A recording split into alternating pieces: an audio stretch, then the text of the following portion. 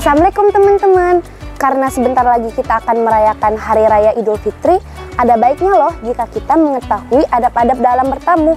Apa aja sih adab-adab dalam bertamu? Adab-adab dalam bertamu, pertama, duduk jika dipersilakan duduk. Kedua, ridho dengan apa pun yang telah disuguhkan untuknya. Seperti perkataan Ibnu Jauzi, di antara adab orang yang bertamu adalah tidak mengusulkan jenis makanan tertentu. Tetapi, jika diberikan dua macam pilihan makanan, hendaklah dia memilih yang lebih mudah. Kecuali apabila dia mengetahui bahwa tuan rumah yang menjamunya dalam kemudahan dalam menghidangkannya. Ketiga, tidak berdiri untuk pulang kecuali dengan izin tuan rumah. Keempat, mendoakan kebaikan untuk tuan rumah ketika hendak pergi. Selamat bertemu di Hari Raya Idul Fitri untuk menyambung tali silaturahmi. Jangan ngabisin kue di toples ya, karena masih banyak tuh tamu yang di luar.